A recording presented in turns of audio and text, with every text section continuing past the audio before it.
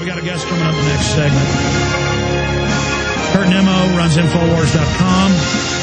He's joining us. National Level Exercise 2009 NLE, Homeland Security FEMA, with troops and personnel from Australia, Canada, Mexico, the United Kingdom, and other countries in NLE 09. Kurt reported yesterday from a Pentagon press release the Israeli anti-terror forces are helping uh, run that operation as well. So, uh, Kurt Nimmo, I mean, this is really, this is really happening. This is really going on. They're really running acclamation with troops everywhere, running checkpoints, PR, running jaws of life, Army helicopters landed, car wrecks now. Oh, we're just the Army. You know, it's all part of getting the troops feeling good about helping the citizens, getting the police used to it. Oh, it's the Army. That's kind of like when the police and the sheriff's department work together on the county line.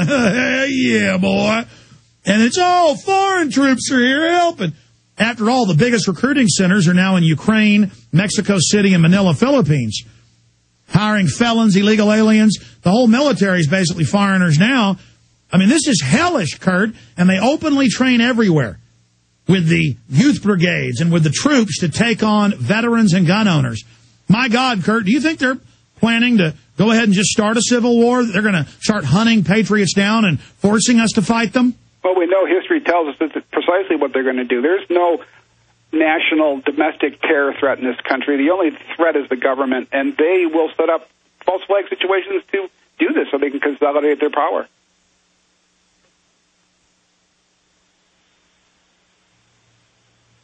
Continue, Kurt.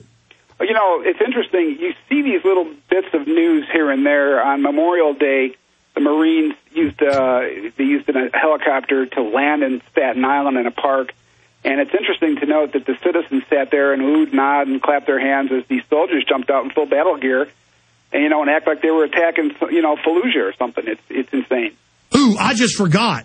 Uh, whatever the big paper is in Fort Benning, Georgia, in that town, there were two big articles. MSNBC covered it too.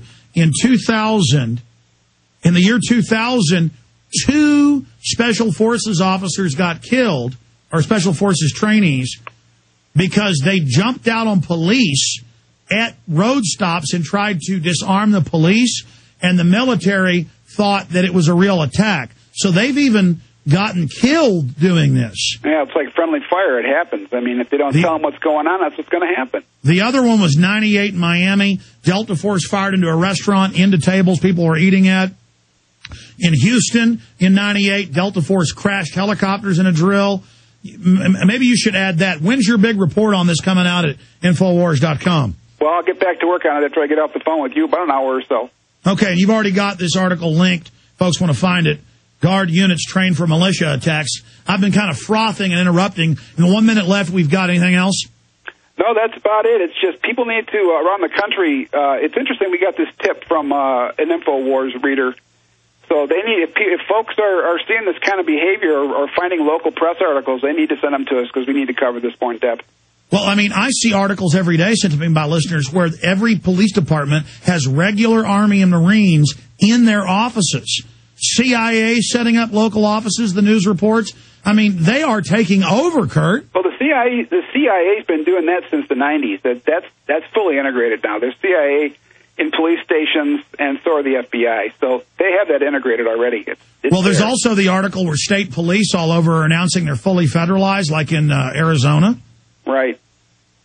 And then every time we get a governor or state reps try to uh, declare state sovereignty, the state police show up and start threatening them and following them, like in Oklahoma. The state police. We also covered the fact that uh, local police uh, agencies are getting uh, grenade launchers and automatic weapons from the, the Department of Homeland Security.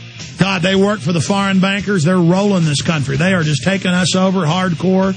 I mean, this is it. This is total occupation, total destruction, total takeover of the republic. It's really happening.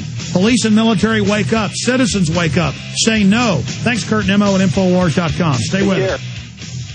Ecoloblue.com is the premier atmospheric water generator. Grabs the moisture right out of the air, seven and a half gallons a day with their smaller unit very affordable, then passes it through seven filters, including carbon and reverse osmosis, neutral pH, no pollutants or toxins, absolutely the best water you've ever had.